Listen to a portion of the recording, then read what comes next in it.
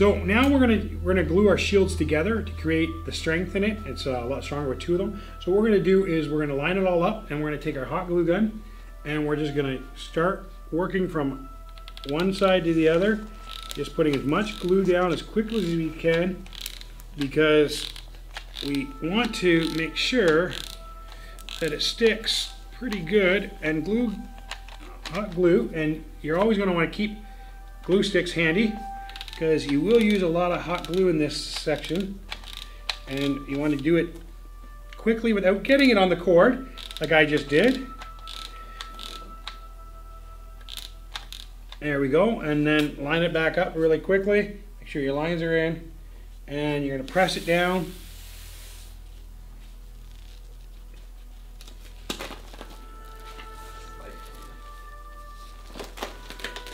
Well, it's sticking, but I made a mistake. I lined it up on one side, but not the other side. There we go. Get it all lined up. Make sure it's lined up so your circles are in the middle and the same. And then you can just take a little bit of glue from the edge and just kind of make sure that it is good all the way around. And voila, you got a solid two pieces together. Now, I like the fact that it's pretty solid with the glue, but that's not enough for me.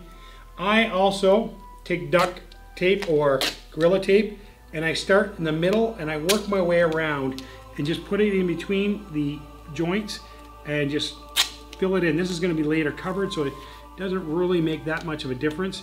Um, so I'm just going to do this and I'm going to do the same thing around the outside edge. So now we're going to take a Dremel and just clean up those edges like I said. So we're just going to put this mask on and then we're going to get to it and then we're going to take, I just use a stone bit, that round, any type really, and I'm just going to turn it on. And just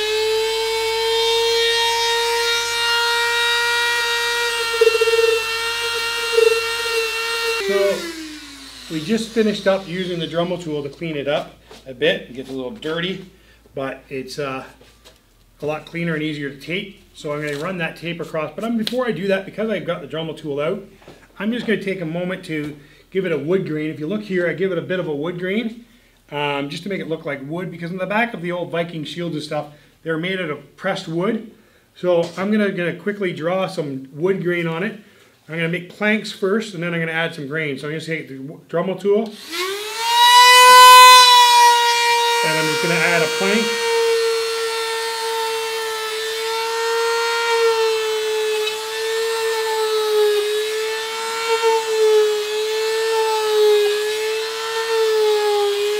And then I'm going to add some wood grain to each of those, creating kind of a wood look.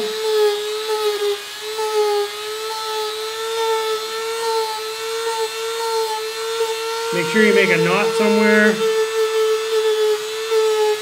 so that it looks a little more natural. You're just going to kind of artistically draw it in there. It may not look like wood when it's pink, but when it's all painted brown, it'll get a good little wood look.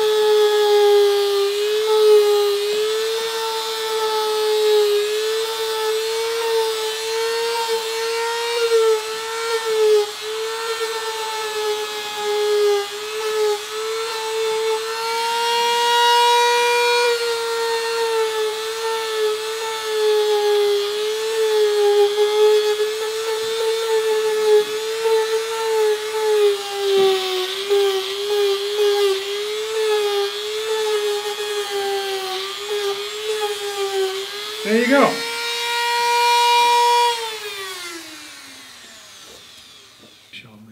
Okay, well I have the Dremel tool out. It's not a bad time to do some of the little artistic things.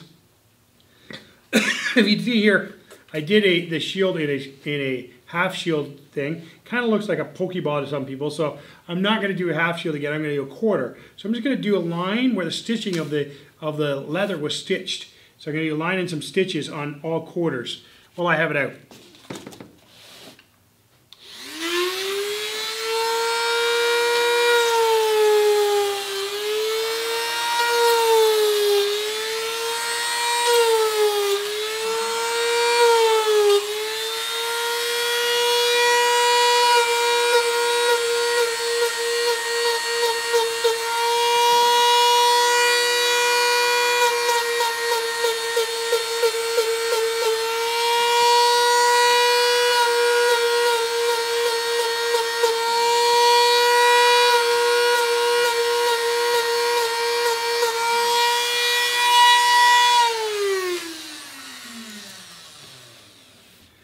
So now what we need to do is we need to, we've cut this out in a circle, we need to mold this into the shape that we want for our boss.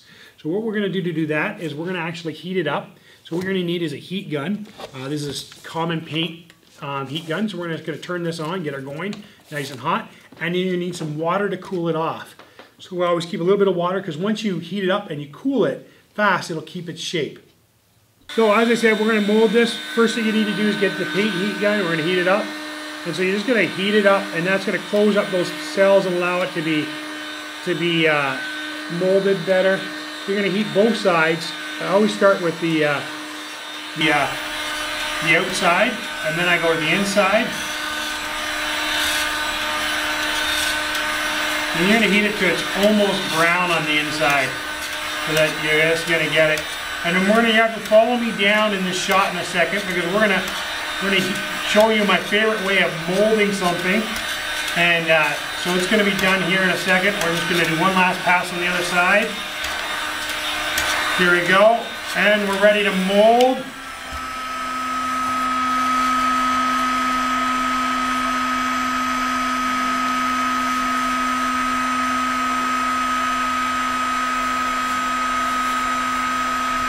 Okay, gonna have to do a little bit more molding on that, but it's getting there. See how you can start to get a shape out of it?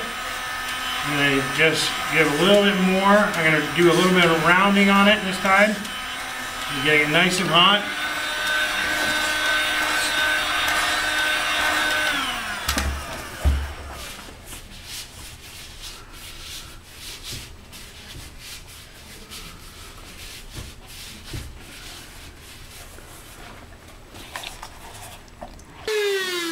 Because every good bo boss of uh, has hit been hit by a couple of uh, weapons from there at time and time. So there we go.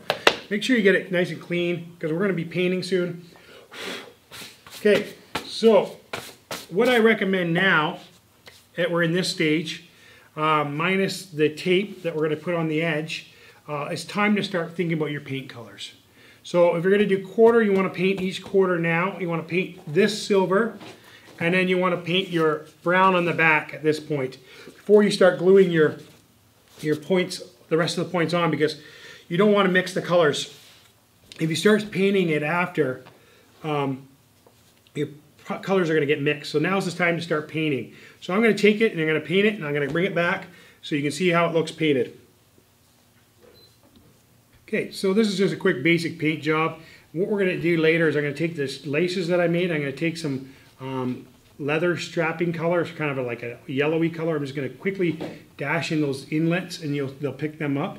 And then if you want, you can put a logo on there. Say you want an R or a handprint or whatever you want to do. You can put your own logo on there. Um, but what we're going to do is we're just going to glue the boss on like this, and then that'll be the front side complete. And then on the back side, all we have to do is we're going to take these two covers, we're going to glue them on like that.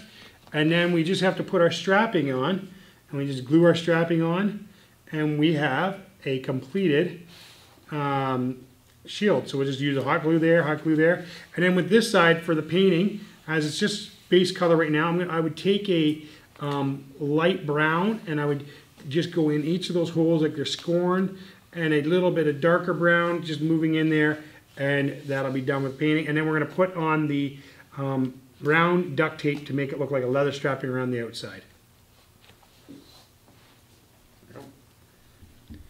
And we're just gluing that on. We just glued it with hot glue gun. Then I just take a little bit of duct tape, just kind of make it look like a leather strap over top of it, and just put it there.